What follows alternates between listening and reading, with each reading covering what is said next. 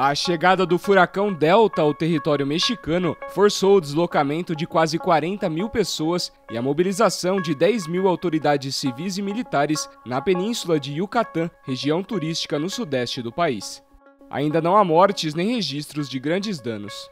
A tempestade tocou a terra com categoria 2, com ventos de até 160 km por hora, mas há a possibilidade de que volte ao mar e ganhe força, tornando-se um furacão de categoria 4, o que representaria o mais forte em 15 anos na região. Já baqueada pela pandemia, a economia local, baseada no turismo de cidades como Cancún, vê com preocupação a chegada do fenômeno. O governo nacional montou um operativo para alojar turistas e moradores de áreas de risco, além de remover das ruas lixo e objetos que possam ser lançados pelo Delta.